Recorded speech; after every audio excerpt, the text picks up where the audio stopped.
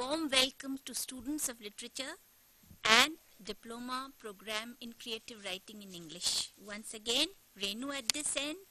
I have with me here in the studios a very well-known face by now, Raji Narasimhan, who has been contributing a lot to IGNOU's uh, academic work. She is a course writer. Uh, Raji has been is a writer. Uh, two of her very famous novels, Forever Free and Atonement, have become household names. She is a translator, and many of her translations have been acclaimed.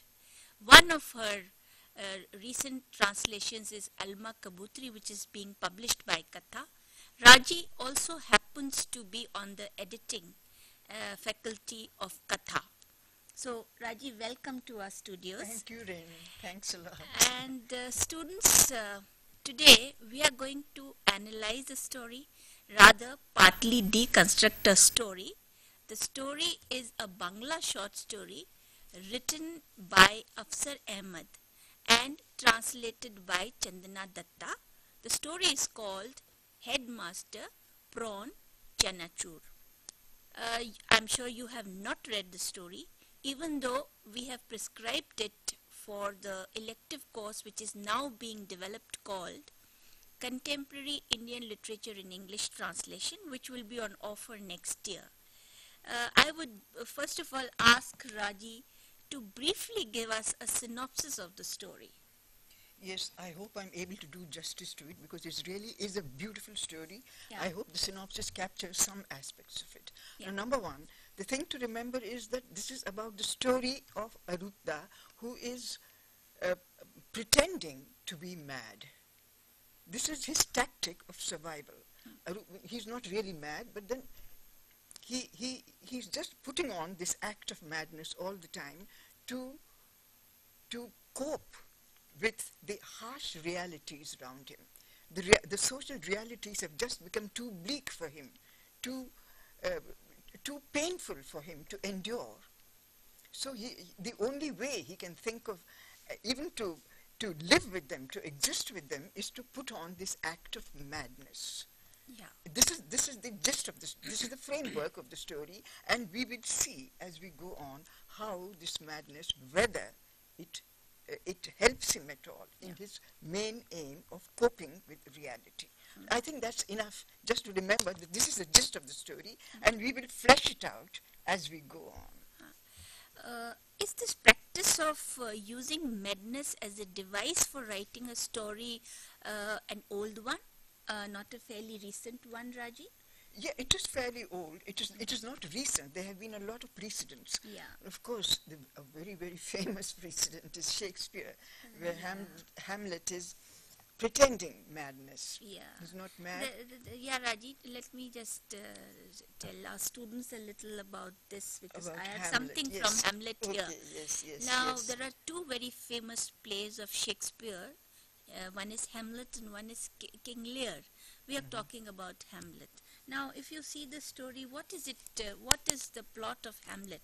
Well, Hamlet wants to take revenge uh, for, uh, you know, uh, against Claudius, who has murdered his father, slain his father, and married his mother, Gertrude. So, if he remains normal, he cannot probably uh, get access to Claudius and he cannot achieve his aim.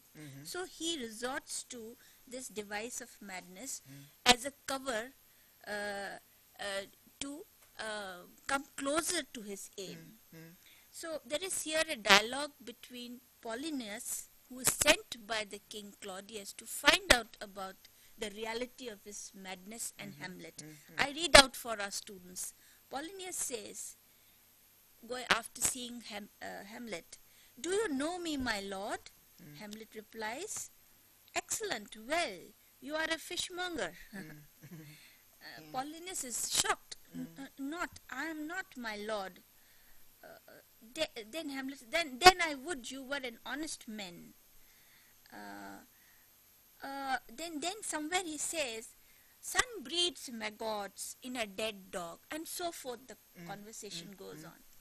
And uh, another example is from uh, King Lear, where uh, Lear's companion, the fool, in in the in the disguise of foolishness or say pranks, who's a court jester, uh, uh, comes out with wise sayings and tells the king what has gone wrong with him. Uh, though that is taken as his nonsense or it's his uh, uh, you know meaningless uh, uh, dialogue. But the king king doesn't take him seriously. Nobody takes him seriously. But look at this. When he says fathers that wear rags do make their children blind but fathers hmm. that bear bags hmm. bags of wealth bags of gold shall see their children kind everybody laughs but hmm. look at the message that he conveys to the king and so forth probably you had alice in wonderland in Yeah, mind Alice in Wonderland, but that is for the nonsense rhymes. Yeah, uh, yeah. Of, to which we will come later. There is plenty of that in the story. Yeah. Nonsense rhymes, Yeah. But which seem to be verging yeah then, then Ra- Rajiv, uh, within this overall framework of madness, Mhm. can you tell us how the incidents have been placed in the story?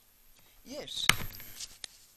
See, within this framework of madness, now first of all, we must we must understand. Uh, of course, we've dealt with the point that he is taking on madness as a shield, as a protective shield around himself to cope with reality. Yeah. Now, n- at one point, he lists all these social excesses which are driving him to madness. Now, we will list these social excesses. Number one, there is a there is the incident of a child that has fallen into a manhole. Yes. Now, he, he, he recounts this incident when he's talking to his wife or in the course of the story. The unasked question in this incident is why should the manhole have been left open at all? So this is the way the whole, the, all the incidents are being fleshed out within the context of the story, just to show that these social excesses, which are there all the time, are forcing him into madness. That is number one. And then below these social excesses are some unanswerable, inexplicable questions. Now, Yes. the questions, the question here is about the manhole.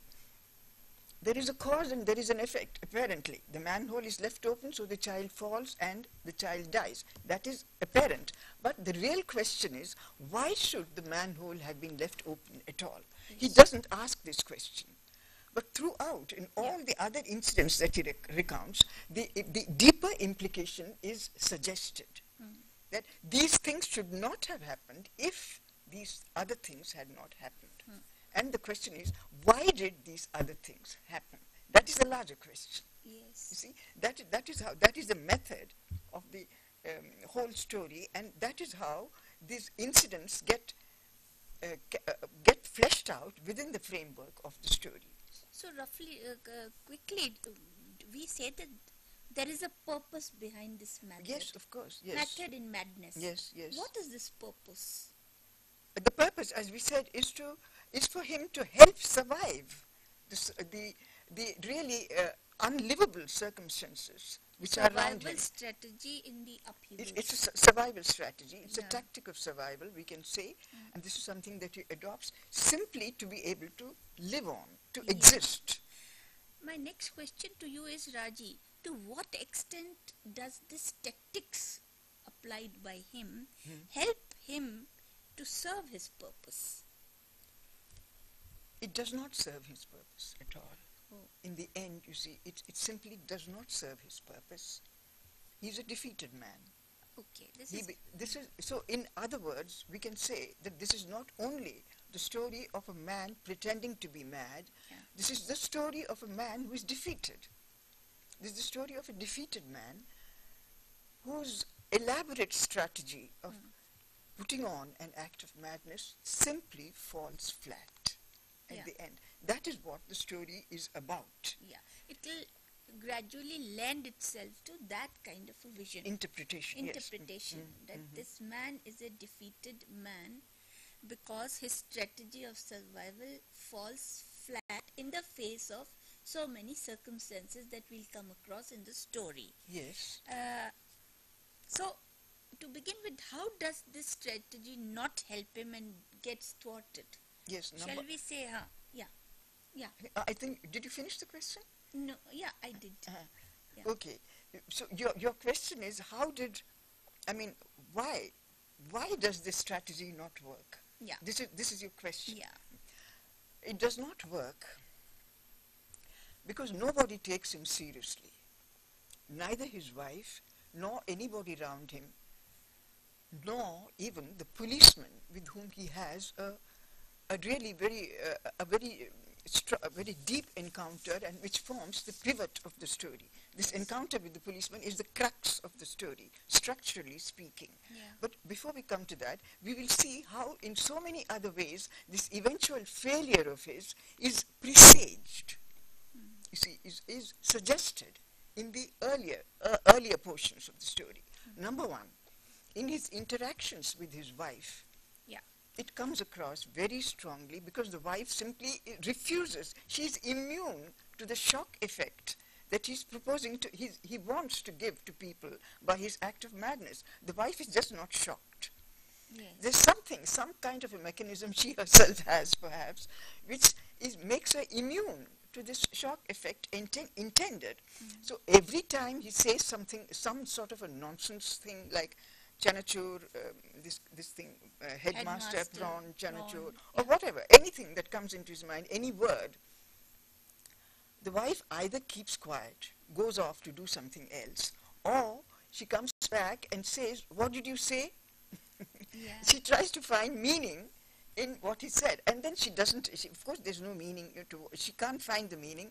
And then she goes on she links it up or, or she doesn't even link it up. She just goes on to her own line of thinking which is about everyday failures like the, the failure of the administration like the failure of the social fabric why there is so much corruption. These things the, the daily topic the daily the, the everyday politics of living Yeah. this is what she's talking about. All them somehow, whenever he he mentions these words, these nonsense words, she just goes off to that to that level of thinking, so that he's just he's just there staring, Yeah. nothing at all he can do except mumble the words to himself. Yeah. That is One word about the relationship between the couple. It's a very caring, sharing, Yes, loving yes, relationship yes. in spite of uh, Arupda's uh, irrationality. yeah. Uh, w- Raji, uh, sh- shall we not read? Yes, I will. That's Yeah. what I want to do. Yeah. You see, when he's uh, there is one place, for instance, that um, they're having a conversation, Yeah. and uh, he's he's going on about. Uh, uh, no, I'll come back to an earlier one. I'll go take an earlier one. He's, uh, the wife has been talking about, as usual, the wife has been talking about the daily political happenings, the political failures on the political front.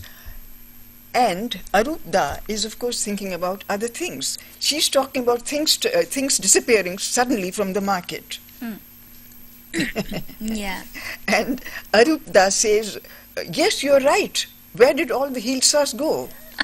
Hilsa is a fish. No, no, yeah. he's been thinking about the Hilsa fish all Yeah, along. He's, i- It's just a sort of a fantasy he has. Hilsa fish in the uh, in the kitchen, and there is suddenly you don't find them there, so there is a lot of uh, pell-mell in the kitchen. A, a sort of a pandemonium breaks out. Everybody's calling out, "Where are the Hilsas? Where are the Hilsas?" He, that is, he's thinking of the Hilsas in that connection. Yeah. Whereas she's talking of things disappearing from the market. Corruption, some kind of she's talking of things like that. And, yeah. While then suddenly he says, "Where are the Hilsas? Where have the Hilsas, Hilsas Yeah. disappeared?" And she says, "Yes, you are right. How can anybody buy Hilsas, which Yeah. is the most expensive fish, Yeah. unless he's got rich through various other means?" Yeah. So, so his whole purpose of shocking her Yeah.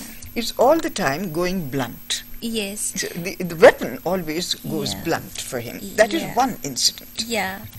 Uh, also, mm, are you never afraid? Of course I am, Headmaster Prawn Chanachur. Murders have gone up in the city, so have rapes. Yes. Headmaster Prawn Chanachur. Yes. The yes. budget se- session is approaching. who knows what madness the ministers will indulge, indulge in this time? Yes, yes. Headmaster Prawn, Chanachur. mm. Now, she is not bothered what he's saying. She has to throw her concerns at him, whether he responds or he does Yes, not yes, respond. yes. So the everything is falling flat. And then, then also the non-verbal gestures that he likes to make. Of course. Now that is that is a whole. Uh, th- there is a very interesting thing attached to it. You see, his habit. Uh, now he's mad. Of course, he's pretending to be mad. And then one of the the the ways in which he exp- expresses his pretended madness is to break out into a wild sort of a dance at Yeah. the back of his wife all the Yeah. time. He's doing that.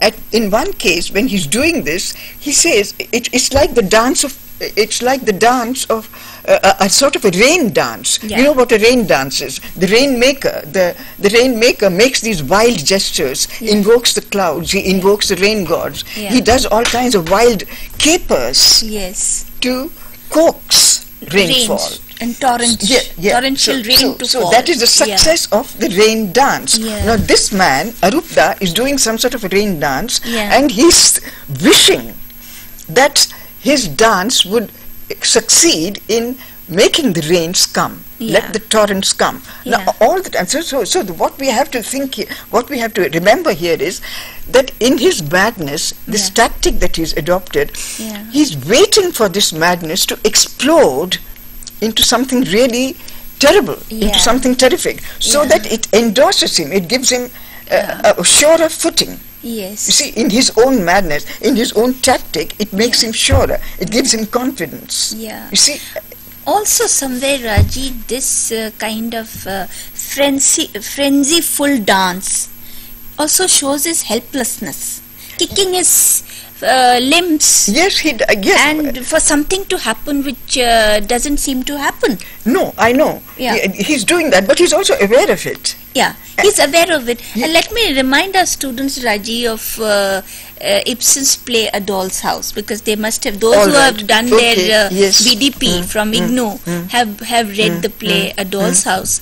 And there again Nora the heroine uh, dances in this kind of hmm, hmm. fit of oh, frenzy hmm, with the husband because she knows that very soon the husband will detect her lie and then a relationship will go flat for all times to come. so sh- the grim reality she wants to escape she wants to desperately get something done just as this man is praying for rain Yes. maybe it's a rain dance so there it's a dance for some kind of redemption which never comes her way so this non-verbal kind of uh, language i would say is very important to very, understand very important. uh, very the significance important. uh, And while we are at it, Renu, this non-verbalism, we can develop it a little further. We can we can come up with some more points which are which are there in Yes. the in the story. Yeah.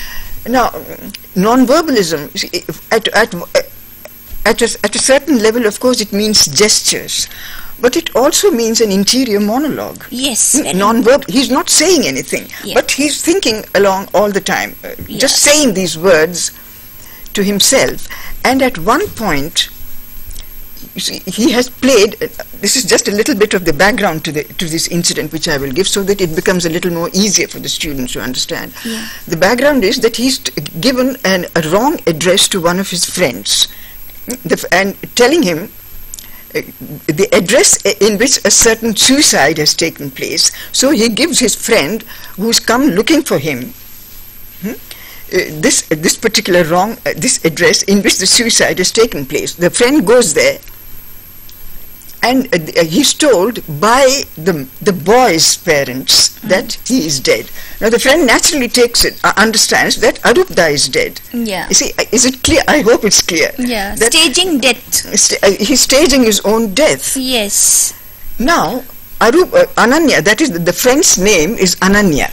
Now, after Ananya has been told that Arupda is dead, it's it's all you know. It's all a sort of a mistake. yes Uh, but uh, Ananya comes out of the house feeling shattered and shaken and everything, and he goes, walks past Arupda's house, and he sees Arupda there, large as life. yes No, he says, Arupda, what are you doing here? I thought, I thought he can't go on. He really can't say it.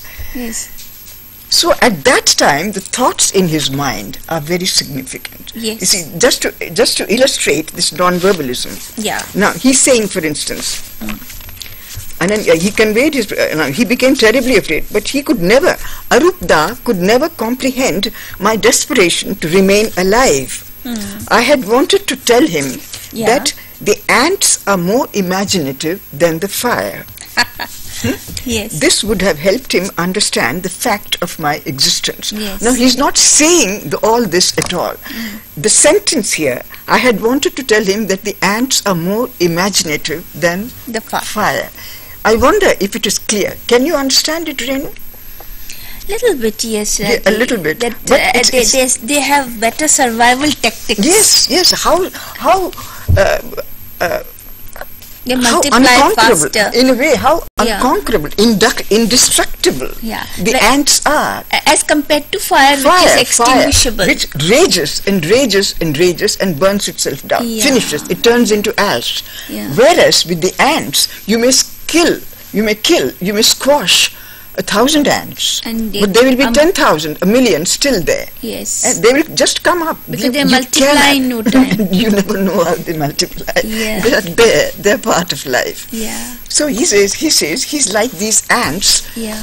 the desire, uh, the ant's desire to live on, desperation to live on, can never be killed. He's like that. Yeah. Hmm? He says, so that is why, even if he was killed, he will never be killed.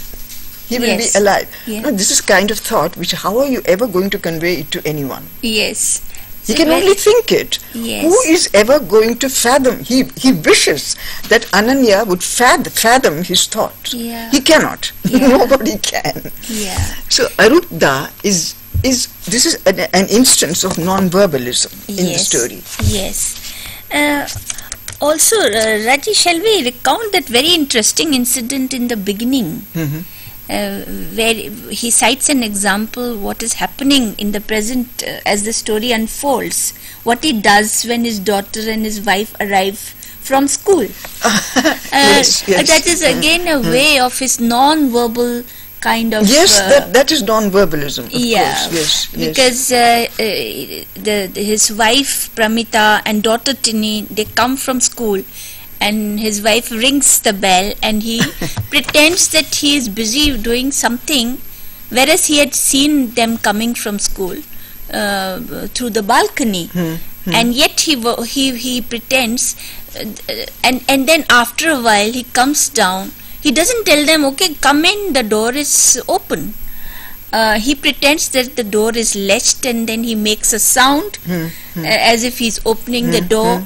and then, um, while the, they, they enter, then again he pretends that he, he makes a sound with the latch as if he's again Knocking. bolting the door, but he does nothing of that sort. Yes, so that yes. makes uh, Pramita suddenly uh, taken. She's taken by surprise that oh, the door was never bolted by him, and he was pretending. Hmm. So these are his non-verbal gestures. Uh, he resorts to, and he says in the beginning, Raji, I think Mm, this is a very, very important statement which uh, Right. Arupda makes in the very beginning, Beginning. of the story. Yes, yes, yes, Uh, I'd yes. like to read it. Hmm. Uh, I'm forced to weave together meaningless activity and thought Hmm. and have reached a point where there is no other way out. Hmm. I must live with them without solutions. My body, its numerous parts, strike different meaningless poses constantly. I lose myself in never ending meaninglessness, seeking refuge in it. And yet, my neighbors, my colleagues, my wife, my daughter, none of them has found my behavior or my gestures strange or unreal. Mm-hmm. Perhaps they have found an element of truth in all these. I think this opening statement yeah, it- it is says very- everything. Everything. Everything, yes. and everything is connected to this opening statement. Yeah, n- not only that, we find that this opening sen- these opening sentences are the voice and speech of a very sane man. Sane. He's not in uh, there. It, it proves clinchingly that uh, how effective, how uh, deceptive the madness is. I mean, it, it's just an illusion Yeah. that he he's creating, and he's not mad. He's I mean, mad. that that tells you in in, a, in no uncertain because this terms. da- this uh, statement uh, cannot be made by a madman. no, not at all, not at all. Yeah. Yes. And uh, any other incident, Raji, where this pretended madness uh, is exposed, Yes. or, or he he act, uh, he acts in a way which is funny. For instance, this telephone, ins- installing the telephone in the house yes. of the dead uh, of boy. the dead boy. Now he, he can't explain it himself. Now there there is something very much deeper there. You know, in this po- in this thing about his uh, giving the wrong address to people to go in, in to go and install the telephone, Telephone. in somebody else's place. Yeah, See, in, from that incident, from that episode. Uh, comes the other episode of the friend of, of his friend Ananya, Ananya, whom, yeah. who he go- goes, whom he asks to go to that house. He he tells Ananya that that house is his house. Yeah. You remember? You remember that point? And then he comes to know that um, the boy, Ananya comes to know that the boy is dead, and he's throughout thinks that the boy being referred to is Arupda. Now, your question is uh, where these uh, um, the madness, the, the tactic of madness falls yeah, flat. yeah. These kinds of irrational looking Yes. uh, events in the story. Uh, this is another example. And what uh, satisfaction does it derive when the bell, the telephone Yes, bell uh, coos like a bird? Mm. Yeah, th- that is there. That is there. Yeah, yes. so, yes. It gives him some vicarious. I don't know if you can call it vicarious, Yeah. but it is part of this whole uh, strategy of madness that he's adopted. You see, you see, I think I think he wants to see, he wants to take it to the very extreme, to the extreme limit possible. Yeah. One extreme limit is to stage his death. Yes. That is one extreme limit, isn't it? Although he says later on that he is very desperate to live, he will never die. Yeah. But he would like, still like to, to stage, to visualize his death. Yes. Without dying, he wants to visualize his death. Yes. Hmm? Yeah. So, uh, Raji, do you think that, uh, shall we tell our students that this is an example of a character who's not a split personality but who's a consciously split personality? Yes, that, that is the whole point of the story, that Yeah. he is not really mad, but it's a, it's a desperate recourse to madness. Yeah. It is,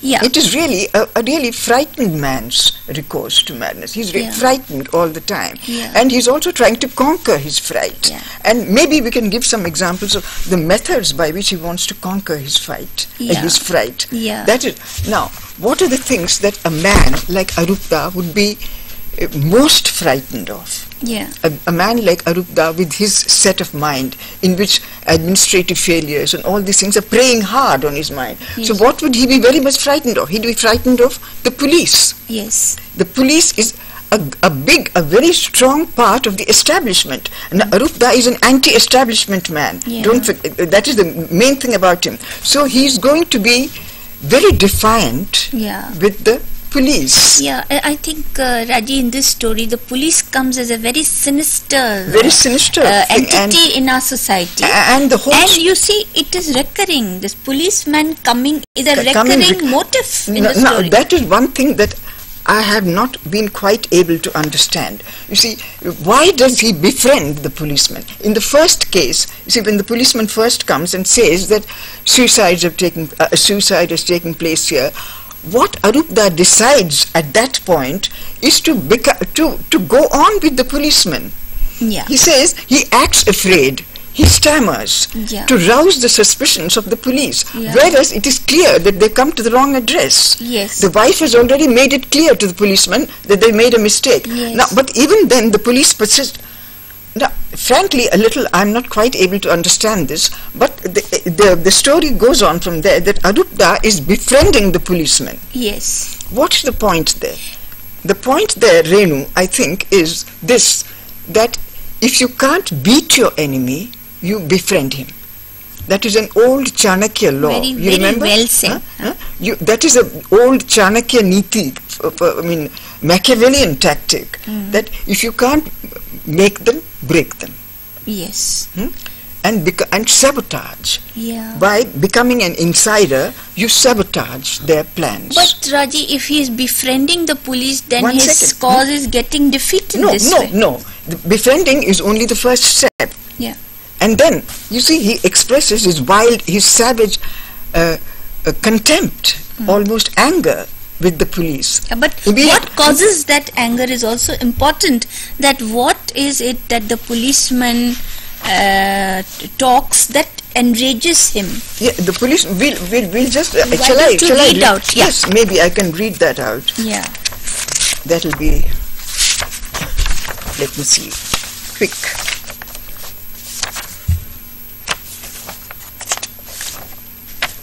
See now, the policeman has moved into the room. Now, he's Arupda calls him in. He says, that is his tactic of befriending the police. He says, "Come in, come in, have a look. Please have a look."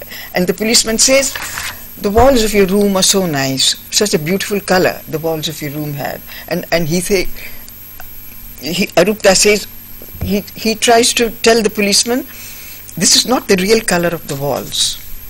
Hmm? And the policeman uh, at that point gets angry. He says, how dare you talk, talk, that, talk like that to a policeman? Do you know what we can do to you? Do you know who I am? He begins to threaten him. Now, that, that is not the point. the point really is That he the, casts. uh, the, the first hint of threat that the police gives him. yeah. He says, he suddenly, the policeman says, Yeah. it is very beautiful. Yes. What? So Arupda says, what? What is beautiful? Yes. He's told him that the, the color of the walls is not what he thinks. So there, the Yeah. policeman has no illusions. Then again he says, very beautiful. So then he says, your wife and child. Your wife and, child, daughter. daughter. Your wife That's and the where the threat comes. Pet. So this is the great thing. The policeman, uh, now the policeman can do anything. Yes. See, this is the, the this is the real lesson, or uh, th- this is the uh, moral, perhaps, in the story. the That decaying law can harass you. Yeah, situation that the the police can harass you. Yeah. It is not being said at all. The police can perhaps want him, uh, want him to give him a, give them a bribe, give them a hefty bribe if they if they're going to let the wife and the daughter go. Yes. If if they're going to let their wife and the daughter go unharmed, they will want a price. All these things are implicit, implicit in the story. Yes. See, nothing is said, but these threats are all there. The moment the policeman says, your wife and daughter, you know, is finished, practically finished at that point. So that is where his real fears begin to start. and the mask sort of falls off and he starts talking a little bit in a normal manner Mm-hmm. the dialogue form starts in the story Yeah, and yeah. things like uh, have a cigarette and uh, Yeah, there is uh, shit on your head and uh, sh- shall we read that out? yeah, Renu? please read. That It's is very, very humorous, that is uh, very, very nice and very important. yes Now, the policeman, uh, the policeman is, uh, uh, he, uh, Arupda has befriended the policeman to the extent Yeah. that the policeman is beginning to be amused by Arupda. Yeah. He says, really, this is very beautiful. Your meaningless words are beginning to intoxicate me. Yeah. And now Arupda gets his chance. Yes. See, what we were saying, that when you, if you befriend the enemy, you can also harm him. yes See, that, now, this is, he's going to harm him in his own way. He can't do anything big, but he can at least have his verbal flings at him. yes Now, he says, why don't you take off your cap and scratch your bald head once? it will make you feel even better. He's daring to call the policeman your bald head. Bald head. Apna ganja sir, that kind of thing. yeah The officer takes off his cap, scratches his head, and sighs in pleasure. Brilliant. yeah Then police the Arupda says there is vulture shit on your head. Hmm.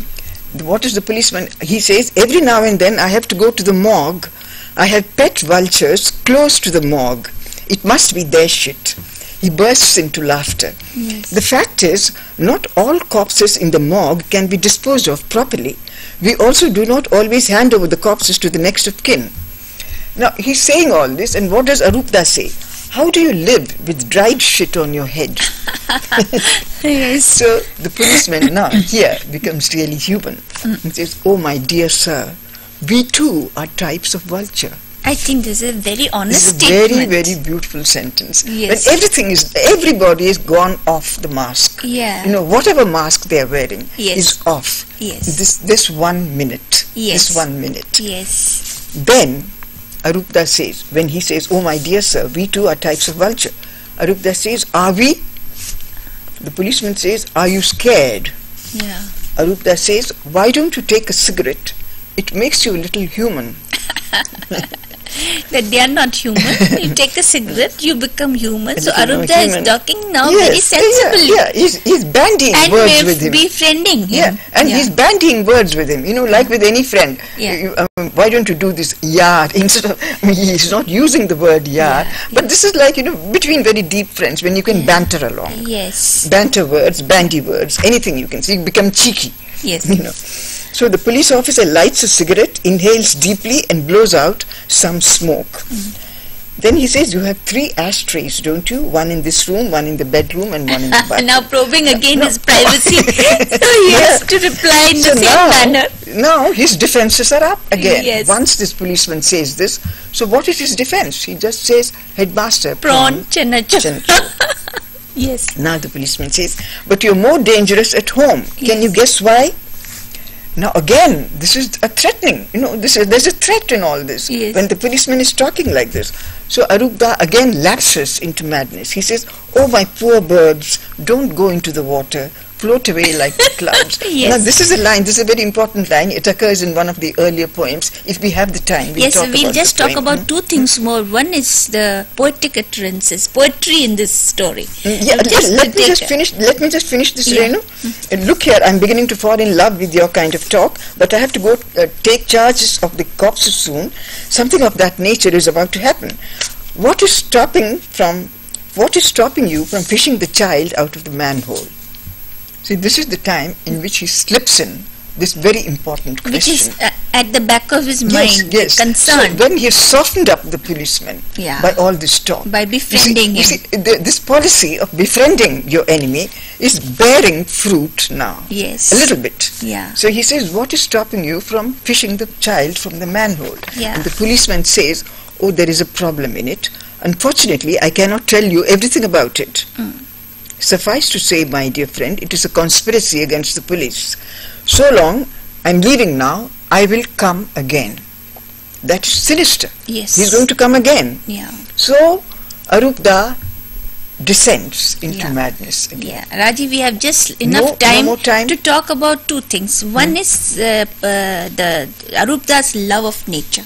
What Yes. do you think about it? I think it has touched me a lot. It, uh, His, his uh, again an escape uh, Yes. in nature. Of course, it is, Yeah. it, it is an escape i- into, Into nature, nature. of a sane man. You Yes. see, he's not being mad at that Uh, time. and I would It- like to recall that glow he experiences and sees of the Krishna uh, Krishna Churna. Churna tree, Mm-hmm. and which reflects uh, his walls also. And uh, he keeps looking at it as if he's here is an idealized world, a Yes. screen. Yeah, it's a screen. Yeah, Yeah. the, the, the red glow of the tree Yeah. is like a screen for him, behind which he Yeah. can take shelter. Yeah. Yeah.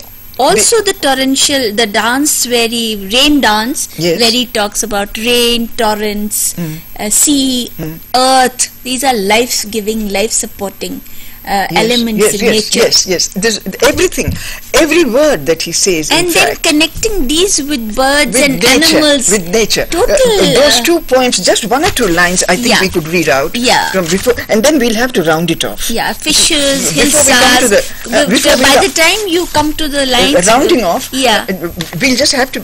We have to round it off because the rounding off is very important. Yeah. I'll just read out one, but one uh, line from this poem where it says, "Birds fly, their feet pointing downward, their spines ramrod." Now that is a very, very vivid picture of birds in flight. Just think, when the bird is flying, what do you see? You see it, its feet are pointing downward Yes. and its spine is absolutely straight, ramrod. Yeah. So that is a very vivid picture of the bird. And also, when you read the rest of the poem, the rest of this nonsense verse say, But the you- phrases and images are very sense important. of terror, the sense of terror Yeah. that comes up.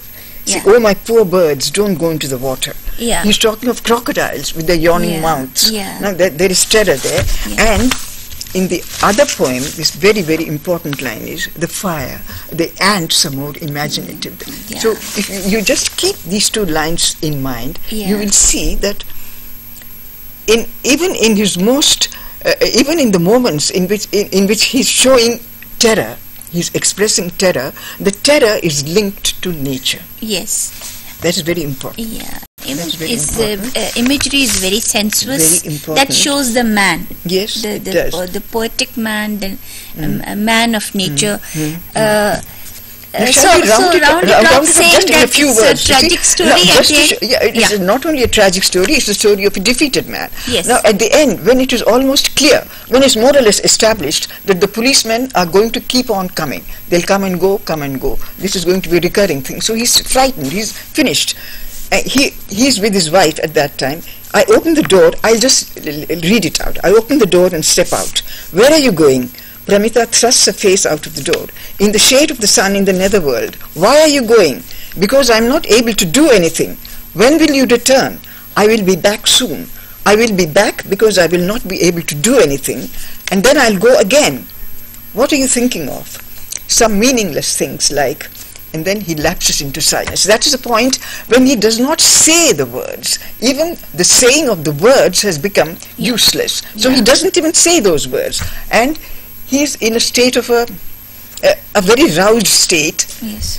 and he see he goes down he comes out of the room he goes down the, the steps from his room and he thinks that there is a flight of staircase a flight of steps just facing him. Mm. So he climbs that flight and when he comes to the top he goes back to the room which he has just left. Yeah. so it just shows that he's trapped there for life. Yes. he's going to leave and come back. Yeah. he's going to leave and come back. He says again why are you going? Because i'm not able to do anything.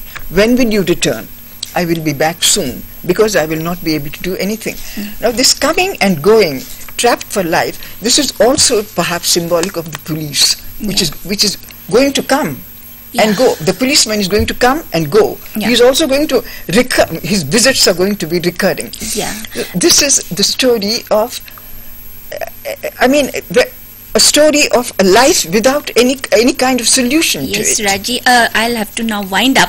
and uh, I think we have beautifully uh, tried to analyze the story, uh, ha- you know, talking about its various aspects of madness, and finally, uh, very unfortunately, it's a tragedy as life has turned out to be. The grim realities of life uh, strike uh, a sensitive and a um, you know rational person like Anu- Arupda. We have also seen the three-dimensional effect of language, how words used in Yes, particular yes, contexts yes. convey meaning uh, so very sensibly, which something which looks uh, apparently irrational, illogical, is not so. No. So mm, uh, I think I have enjoyed talking to you, Raji, and I But think it's a very complex story. And I want to say that a short story uh, has all the possibility of, Of course, yes, it's exploring, immense. It's uh, and there are no constraints no, of no, plot, not at all, not or at all. But one point we must get across to the students is that it is a tragic story. It's a, that we said, yeah. Oh, we said. Okay. Okay, So thanks for uh, joining us in this discussion, Hmm. and uh, hope you will read the story now with a lot of interest, and maybe you will have many more interpretations. I hope so. uh, I to, really hope to, so. to give us. Yes, yes. So goodbye. I mean, this is endless. yeah. Bye. Bye.